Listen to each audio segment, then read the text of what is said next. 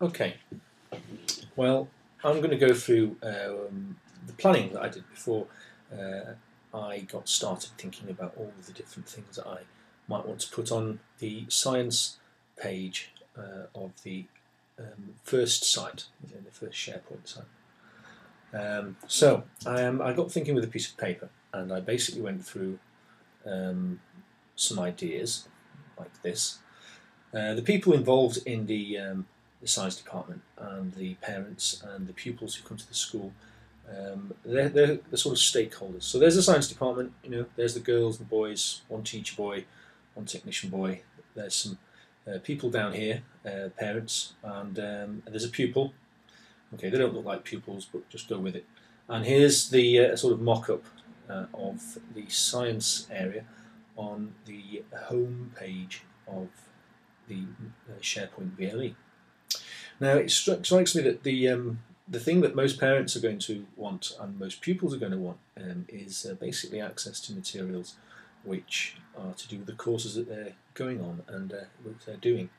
And so the courses uh, that we run in science, apart from the Key Stage 3, we do BTEC Science, Double Award and Triple Award. So there's probably going to be some sites that we'll make up. Now, uh, this does not mean I'm going to be uh, suggesting we head straight off and build those web pages from um, the first um, page down here, because that's not what I want to do. I want to go through um, a planning idea first.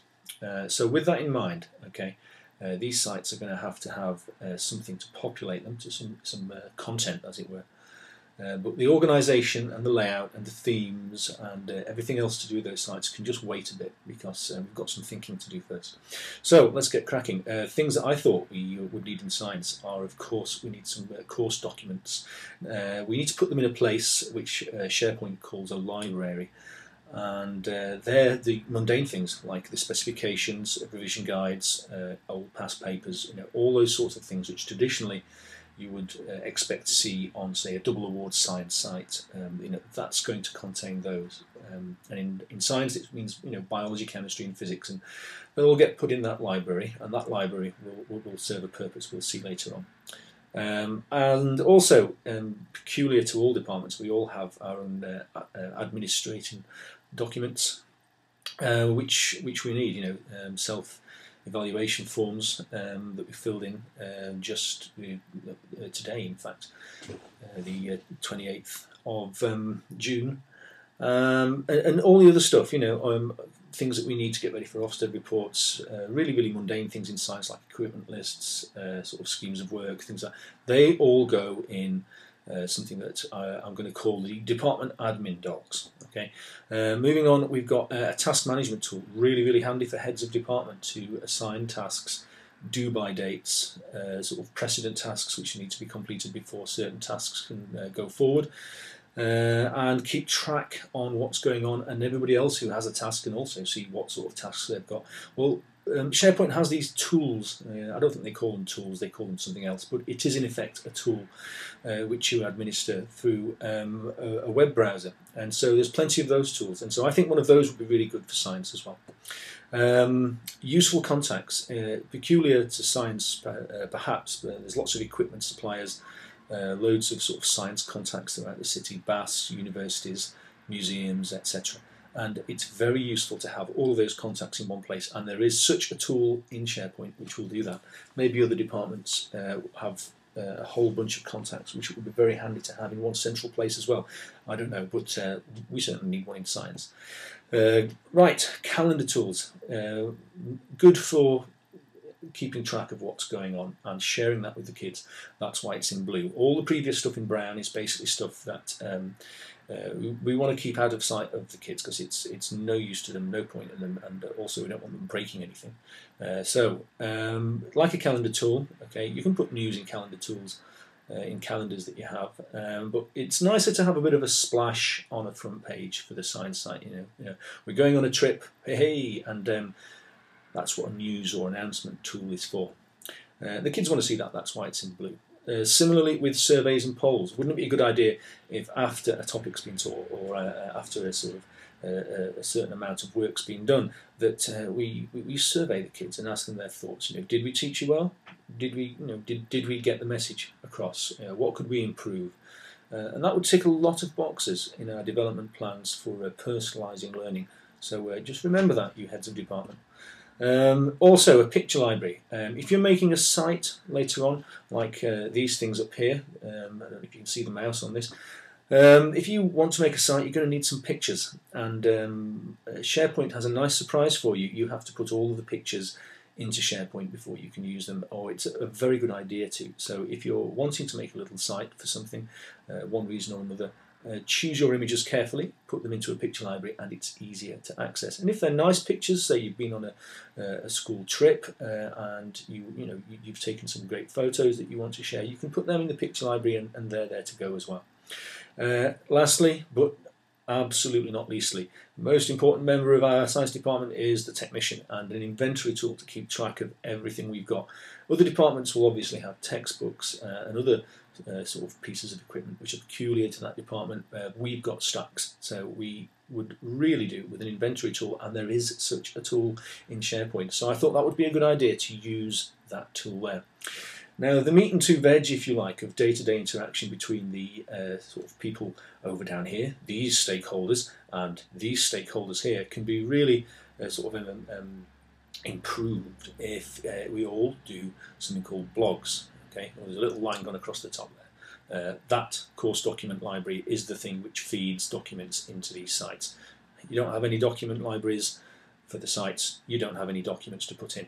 But on the day-to-day, -day, getting back to it, uh, we've got some really interesting things. So we're going to just use blogs. Blogs are really, really, really, and did I say that again? Really good for um, communicating in, in, a very, very clear, regular, uh, and, and, nice and fun and, and, sort of informal way with uh, the people that you teach. And if you blog and share ideas, and uh, you can invite pupils to sort of have uh, be, be, guest bloggers on your blog if they do something particularly wonderful, they're fantastic ways to share uh, information and skills and, uh, and really get things moving along.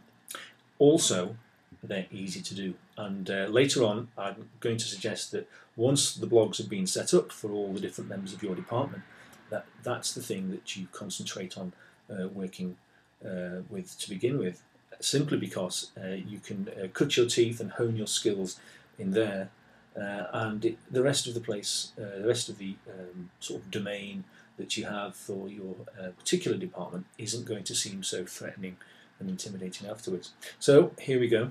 Um, what does it all look like? Well, I'm going to suggest not making this front page for science into a web page in itself. More th think of it more as a launchpad, if you like. Okay, so on the, on the left, okay, we've got uh, what Microsoft cunningly calls a contents editor. To you and me, it's a text box which sometimes you can throw a picture into. Uh, but I thought it would be nice, Science Department, little title, uh, an introduction from the head of the department, a list of the staff. It's always nice to know who's teaching your children. Uh, and the courses that are offered. You don't want to go fishing around down the umpteenth mouse click before you find which courses are offered. And maybe something a little bit extracurricular. Uh, you know, so some nice things about the, the good things that your child is going to experience when they when they do science at Sally Park. Now over to the right, okay, table of contents. There's a tool uh, it's not a tool. They call it a web part. Um, Google call them gadgets or widgets, or Apple call them widgets or gadgets. Uh, but basically, it's a container uh, for storing information that you can then put into your web browser. And this table of contents uh, web part, um, I'm going to suggest that uh, I'm going to mock up uh, here all of the things that I've kind of brainstormed is a too strong a word. Um, but all of the things I've just been talking about on the previous slide are down here. And this table of contents will simply uh, be a launchpad for other pages, other sites, other tools that staff and pupils can access. These things at the top here, they're um, from useful contacts to science admin documents like they're things I don't want parents or kids getting anywhere near because uh, they'll break it and it's got nothing to do with them. It's just the mundanity of uh, sort of administering uh, a department. The middle bit, okay, calendars, news, polls, surveys, and blog lists from staff. Well, yeah, we do want that. So uh, I'm going to make sure that uh, all of the things that I create, all of these bullet points, I will be creating. Um, I want them to be available on the science homepage. And you do that just by having a table of contents. It's as simple as that. Um, so that's it. So um, I, I had a bit of a plan uh, for uh, an hour and a half, a couple of hours uh, on Tuesday afternoon, and this is what I came up with. Now I expect it's going to be um, added to.